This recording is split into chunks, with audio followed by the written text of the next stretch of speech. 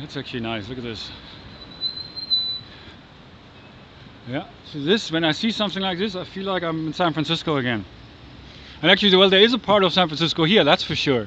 It's just, well, more German. of course, they're very, very loving people here in Germany. It's just like a different kind of love than how people are in San Francisco and, and the area of San Francisco.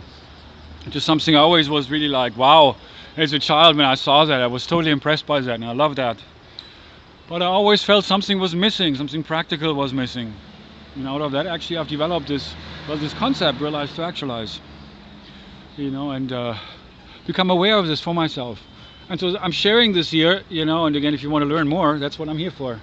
Until then, I hope you enjoy that. Another now, another wow.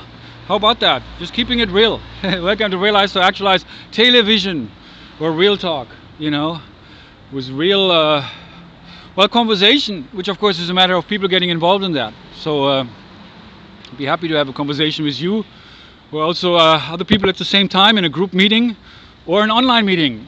You know, or just give me a call and just be now, be present with me. You know, and uh, thanks for your time. And uh, yeah, was auch immer. Shut up. No, you shut up. Shut up.